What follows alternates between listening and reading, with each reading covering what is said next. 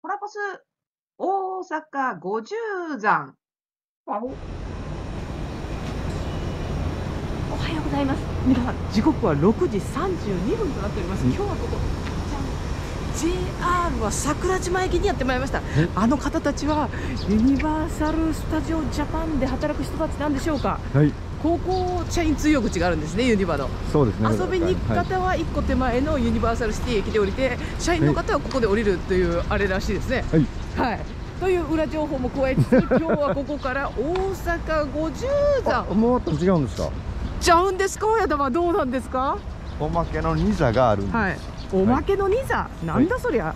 えー、天保山天保山と堺のソテツ山。あの山と言いながら、え、どこが山頂？みたいなんですけど、この面白い。はい、あのーめっちゃ低い山頂へ皆さんを今日は誘おうというプランであります。はい、渡し船がね、うんなんとね、あるんですね。はい。はい。大阪市内に8つの渡し船があるんですけど、今日はそのうちの、はい。えー、できたら4つぐらい。大阪市内にあるよ8つのうちのできたら4つぐらいの私船に乗ってみようと、えーちょっと聞き取りづらいってね。あのね大阪住んでる方ほーんって思うんかもしれないですけど私みたいな地方出身のものはえ渡し船ってタダなんって。地。ただです。なんとタダなんですよ。びっくりしません？はい。あんな動力かかっててね 絶対維持費すごいのにね、い。なんとタダなんですよ。税金で賄われてるんですかね。それを今日は乗ってみたいと思います。それでは今日も元気で、行ってみよう。こ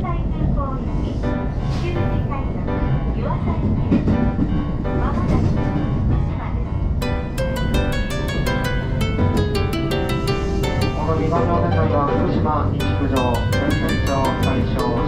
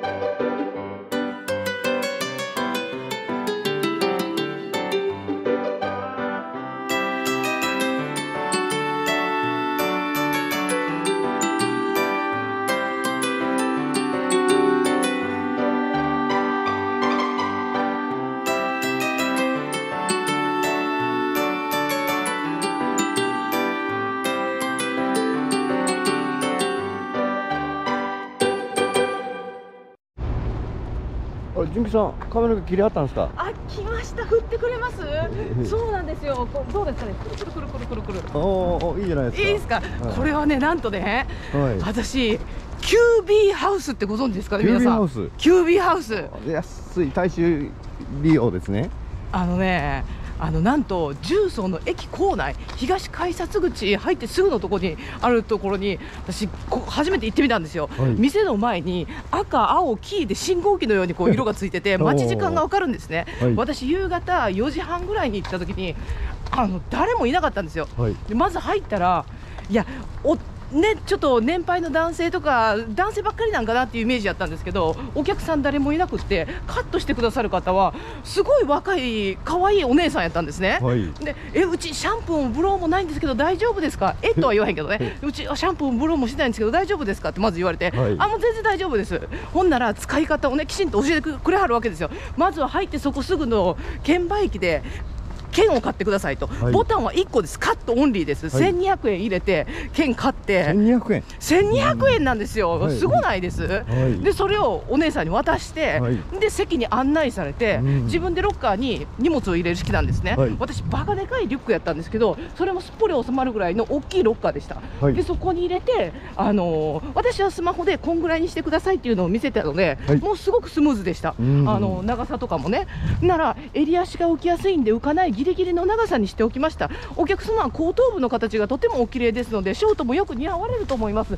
みたいなアドバイスまでいただいてそんなん言われたことなかったから、はい。へえこんなことまでしてくれんねやと。で、うん基本は10分カットっていうキャッチコピーなんですけど私の場合うん。20分ぐらいかけて丁寧に切ってくださって、10分で1200円ですか？いや違うんですよ、それが20分かかっても追加料金とかもなくって、なぜあの、うん店員さん、お金を触らなくていいような仕組みになってるんですよ、うん券売機に入れるから、うんうんまあだから1200円オンリーなんです。で、はい。あのーシャンプーもブローもないから、はい。掃除機みたいなんで吸い取ってくれるんですよ、結構ずぼーっとね。ほうほうほう。で私あのカットし終わった後いつも長い時間かけてブローしてくれるあの時間、はい。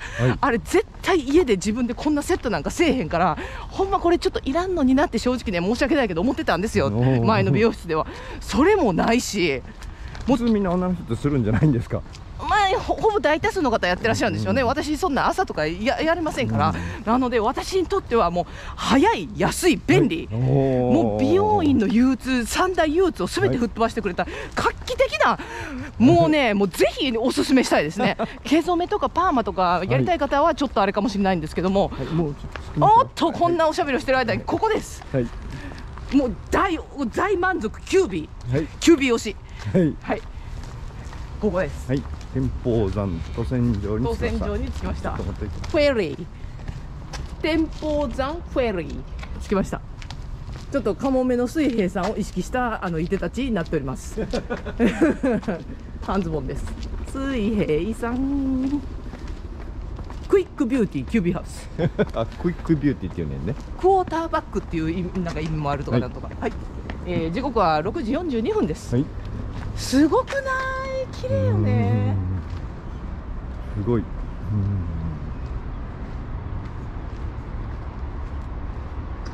あっちに行くだけです。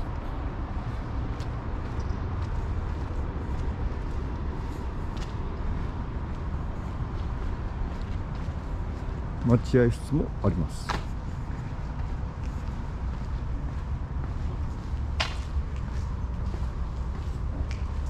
うっせうっせち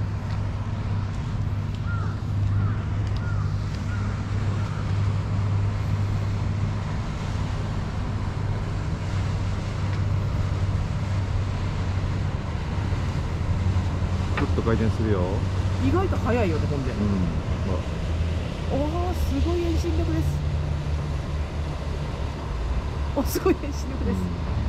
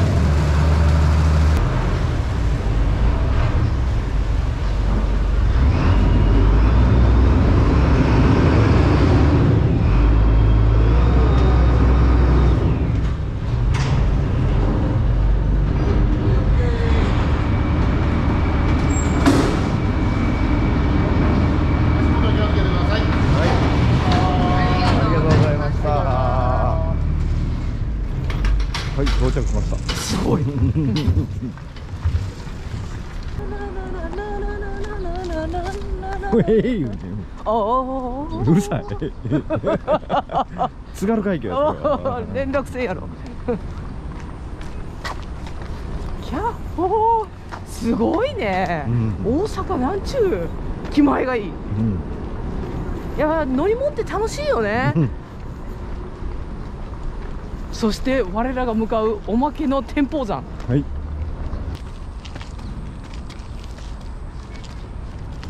どこやかどこやったっけなな来たの前あのなんか絵はがきみたいな盗聴来てくれはったよね おじさん、うん、うん喫茶店がどこか思ったね丘みたいなとこやったで小高いここ一番高いとこやで多分。いやなんかもっと砂みたいなところそんなんじゃなくて。今までさっきの方が近かったけどはい道なき道。えちゃうわ道はあるけどえー山頂がわからない。りゅうちゃん知ってるんかと思ってついてきたのに多分さっきのとこやで。はい戻りましょう。はい。ここでも迷います。もう迷っても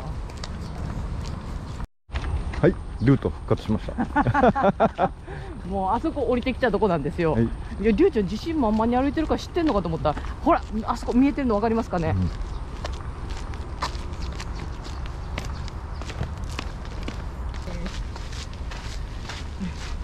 はい死後に22分。あ4.53メートルやって、うん。日本一低い山認定ここですよ三角点なんと。2頭、うん、大阪五十山は第51パフ、パフ？山、うん、登頂タッチやりました。やりまし日た本一山イエイ天保山です。三角点はここです。あのこの塔の真下あたりですね。こうぜひ当選状おすすめします。はいあれが乗って連乗ってきた絡おにぎりタイムです。もぐもぐタイム。そして、ハトが来ました。結構厚かましいハトです。はい、憲法山でもぐもぐタイムが終わりましては次はジンベエジンベエジンベエの私へ向かいます。へえちょジンベエは初めてですね。3.3作ったよこうん。んなん。な憲法山運河を渡ります。全部計算されてんねやろな。ここでこんぐらいカーブさせたら減速してとか。なあ。この辺とかもすごい。なベビーやでもうベビー。あら南港に渡る橋ですね赤いのは。へえそうなんだ。安心交差へえ港大橋だったかな。へえ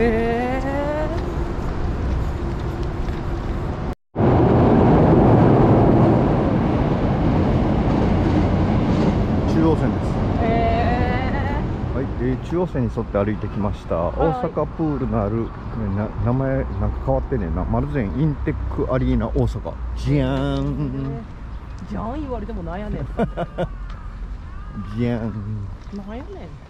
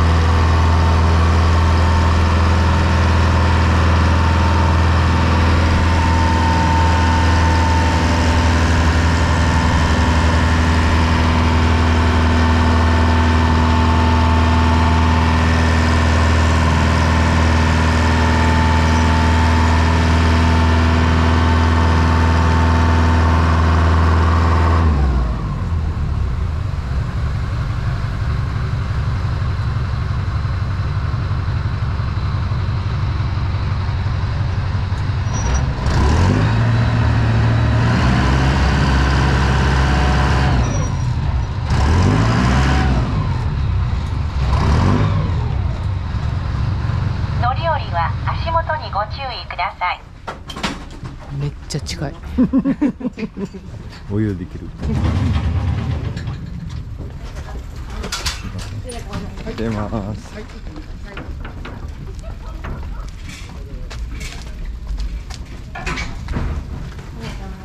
とうございました。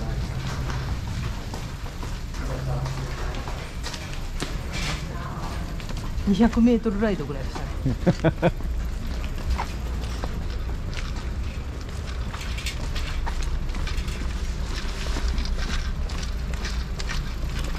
うなん橋かけた方が早いんちゃうんか？え？ちゃうの我々はどこに向かってるんでしょうか？えー堺のはい。ソテツ山？はい。おまけは2座あるんですね大阪53の。はい、今日はその2座重曹船使って。ジュース重曹やろ？海抜1.1メートルぐらいの重曹。はいこれが千歳橋です。えここの川はあれやな。あの歩いても渡れんねんや。あそうなん。船乗らんでもほらなんでやねん。だから船やる意味やん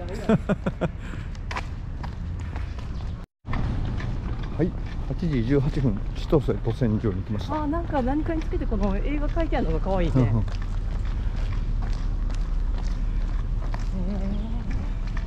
なんか漁港って感じ。うん。海の匂いするわ。あ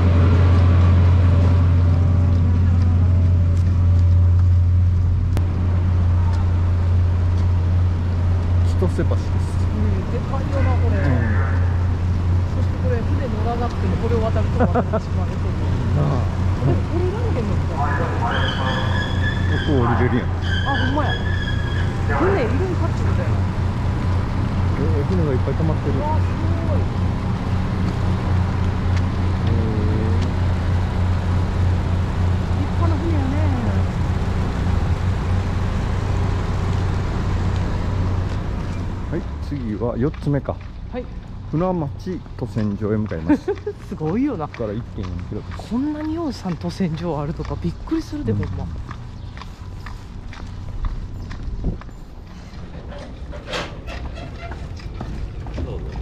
はい。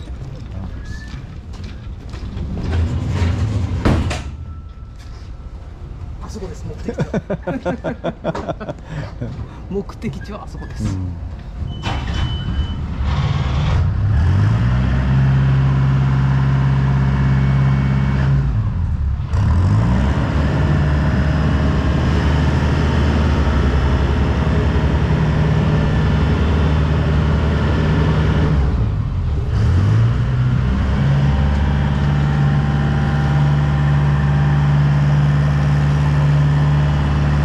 本日3回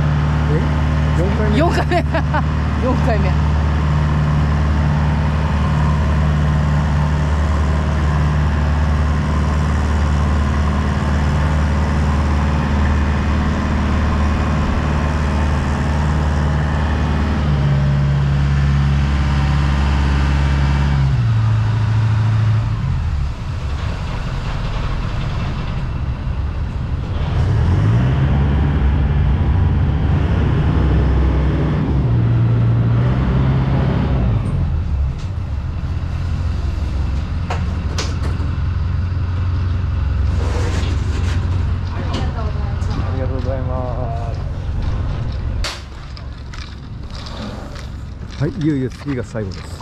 マジか。ちょっと寂しいね。名残惜しいね。5つ目やで次も8つのうち5つもやえー、そうなんや。残り3つも気になるよな。ええわも お腹いっぱい？う同じような船ばっかり、えー、すごい。ちょっと感激してんねんけど大阪マジすごい。大阪マジすごい。8時57分です。木津川渡船場なんかこれ起きそうな気しますよ。えー時刻表は。9時ちょうどあ9時ちょうどよっしゃ。あやった。あ3分や3キロあるとか言っとったけど全然なかったんですよ。そん。なに800メーターほどだったんちゃう？あそこやうん。これがメガネ橋って言われてるやつやな。えー、うまいこと言うね。ほんまメガネそうだあと2分や頑張れあそこや。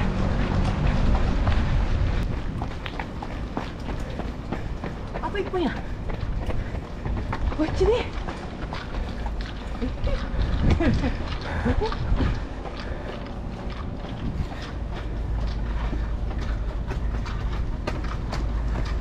おお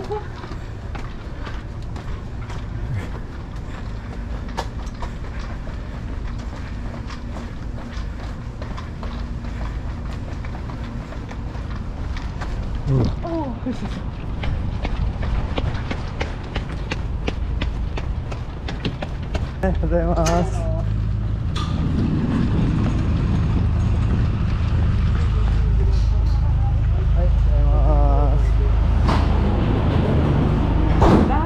い、ありがとうございますラス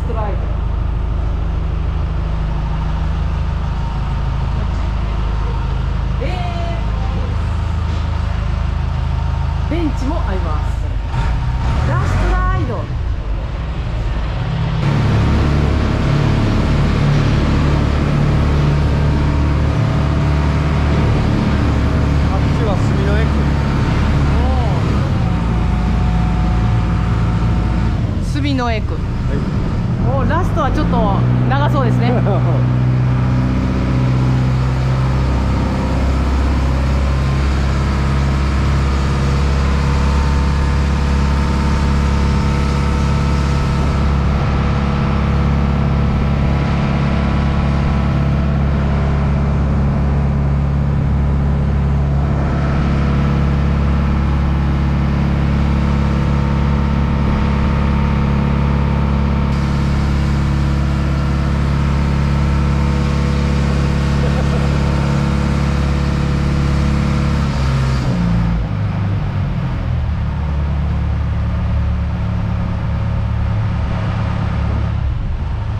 出発してあそこ。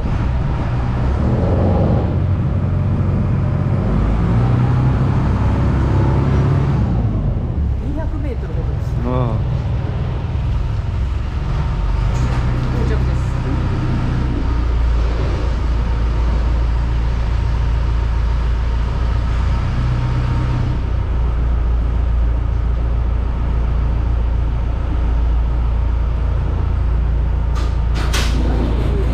ありがとうございました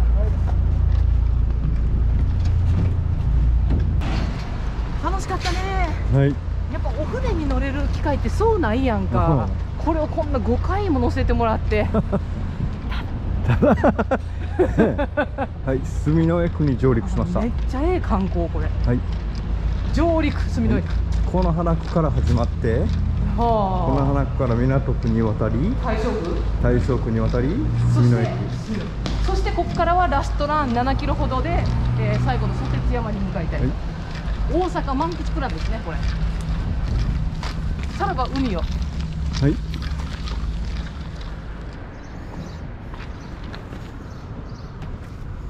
昌平橋です、うん、こういうのかけたらええんちゃうんかい なあこんぐらいの幅やったやろ。せやな、おーなんでやねん思うよな、うん。はい、でっかい鉄棒を見つけました。なんとね。いいとこ見せてくれるらしいですよ。いきます。リュウジ59歳。おお。やりました。ちょっともうね、4回目ぐらいなんで、だいぶふらついてますけどね。すげえな、おい。よしほっ。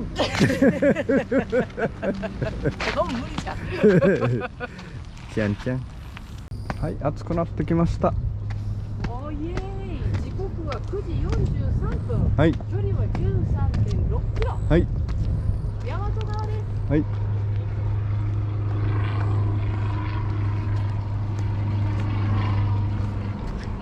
じゃーんじーん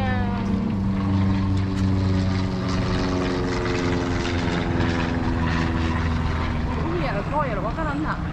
海はこっちや。正面が二条山。おーおほんまに二条山って感じやなあれ。うん葛城今後。うーん。岩や何は筋？新なにわ筋。へえ。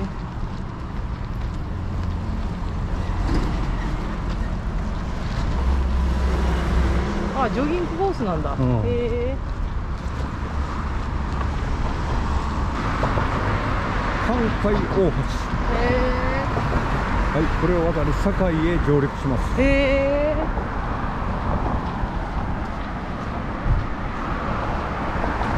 もう私船ちゃいますねんあなあ私もありませんここは。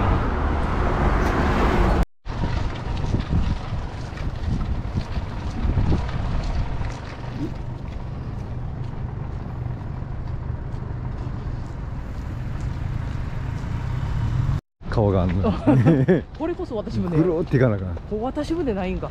私もはないここは。これ龍神女神さんみたいですね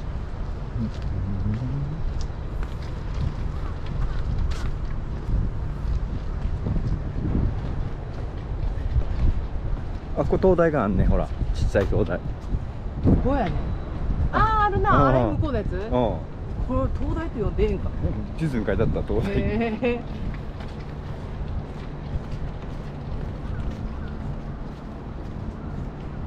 えー、綺麗とこやねこれ。うん。このレンガ風がおしゃれやね。うんうん。へえすごい都会的な。ほんまやねあそこにもなんか手振ってあるで女神に。そこその下。ほら。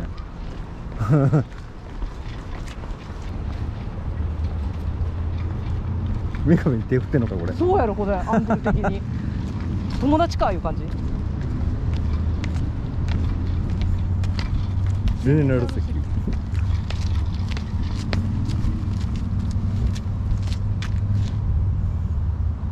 誰かわからんわあここ書いてるよルソン助左衛門貿易商人やでへえ。え贅沢な暮らししとったら豊臣秀吉怒られてカンボジアに移り住んだらしいよ で女神に手振ってんのか。これアングル的にどう見てもそうよね。でもなんかちょっとどこ見てはるんやろ。ちょっと女神とずれてるような気もせんでもない。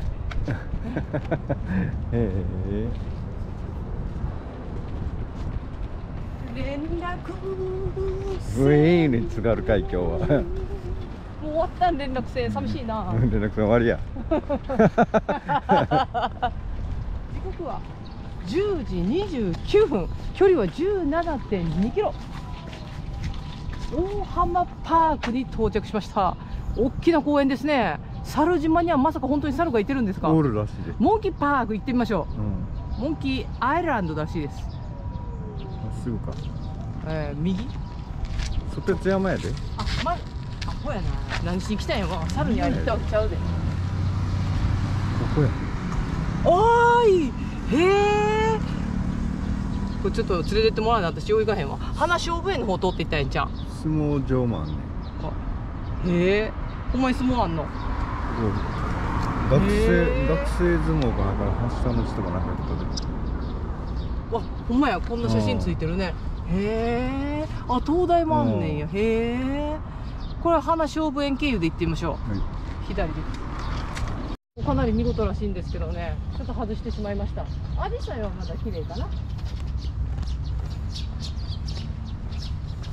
ちょっと枯れかけですよ。ちょっと遅かったみたいですね。もしやあれか。そうやソテツ山登り口って書いてあるこっちの方が山らしいやん。そうやな。天保山より。そうやな。登山口まである 日本一低い一等三角点。一等やからすごいよな。へえ。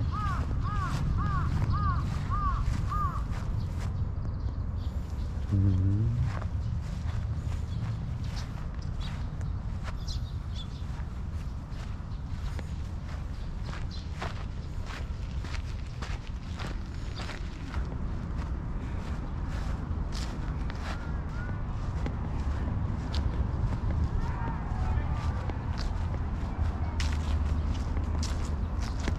これでついに最後ですよ、はいえー時刻は10時35分、はい。距離は17.5キロ。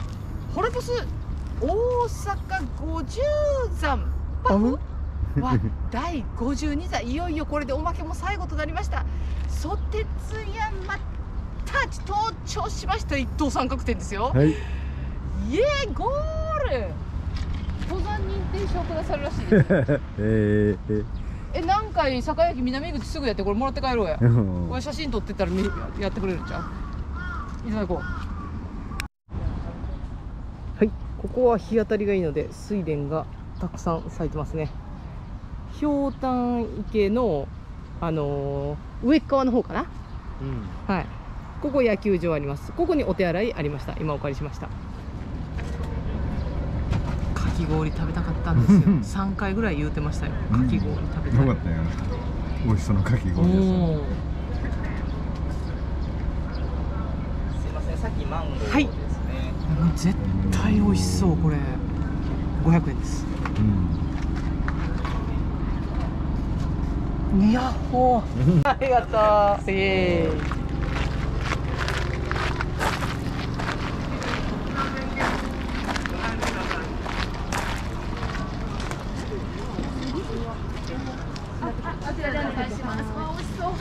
ああ、言うてまうな。残った、残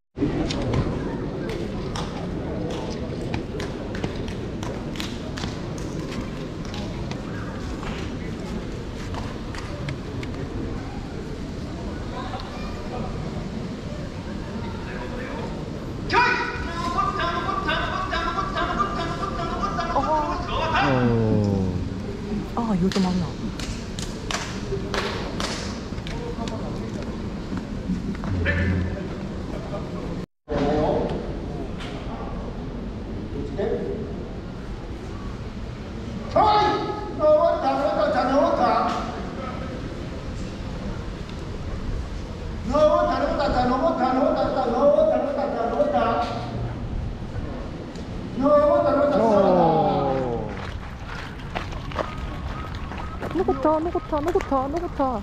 どうでしたか？発表。どすこい。寄り切り、寄り切って東の勝ち。いや、私、あんな間近で力士戦う姿見たの初めてやったんで。お、モンキーパーク言うてる前にモンキービヨーンと振りたの見えました、今。いや、ちょっと今回の旅は盛りだくさんでしたね。猿の個体が白いってこと？毛生え変わってんじゃんなんかね意外とねミノーの猿より痩せてるなっていう印象ありますね、でも白いんだ毛生え変わっとんじゃん。あのめっちゃ獣臭する。うわアクティブ。アクティブ。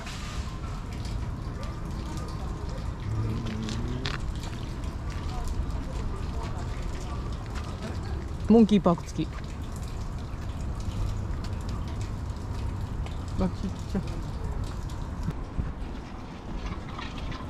あちっちゃ赤毛猿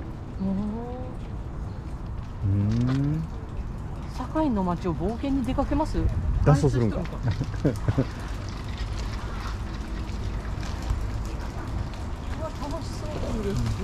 暑い中にでもお猿さん意外とアクティブに遊んでました。もうこれまでジャッパーン水飛び込んどったね。はい。相撲鑑賞も終わりお猿さんとも戯れ。次は目的地ランチです。はいじゃあめぼしいとこ堺駅を通り越えてきました。ははい。目的地まであとわずかです。いあと70メートル。はい。どうでしょうか？初めてのお店です。右側のとこじゃ上りが上がってるところ。おお純吉のいい町いい店。純吉のいい山いいとこいいお店、らしいです。そこです。そこですね。提灯出てますね、これ調べてきたんですよ。日々これ日々これ、うん。今日はこちら日々これさんにお邪魔したいと思います。えーランチはですね890円からございます。はい。塩あー美味しそうやなどれも。とりあえず入ってみましょうかね。はい。はい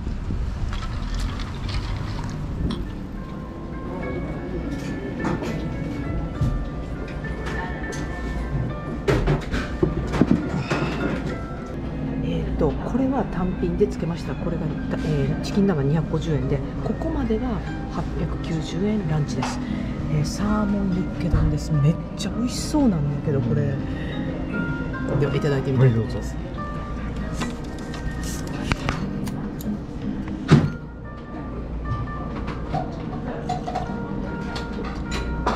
うん。大根の味噌汁ですね。そしてまずは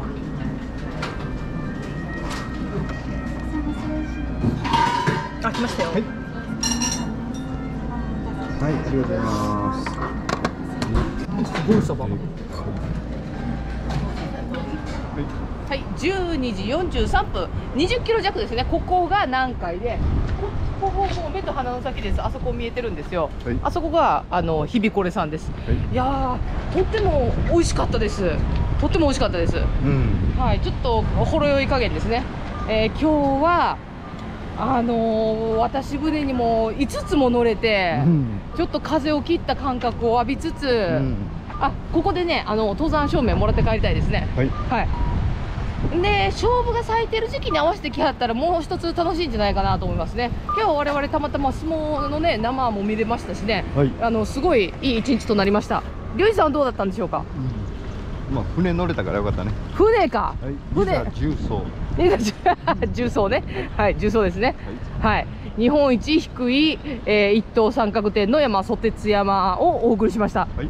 天保山も低かったですね。はい。はい、それでは皆さん どなたなんでしょうかね。オランダ人っぽいですけどね。ここから昔見はったんですかね日本の運河を。運河？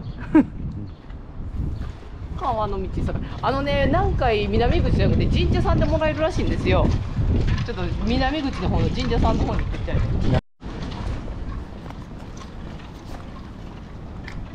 はい新明神社に来ました。はい。新明って呼ぶんかな？堺のお伊勢さんだそうです。新明合神社。ってました新聞神社。あ枠ぶりうん。水無く。あーここも一緒なんや水無月の名星の腹へする人は千歳の命信というなはい。普段人えー数50円50円でした。こちらでいただきました。新明神社さんでした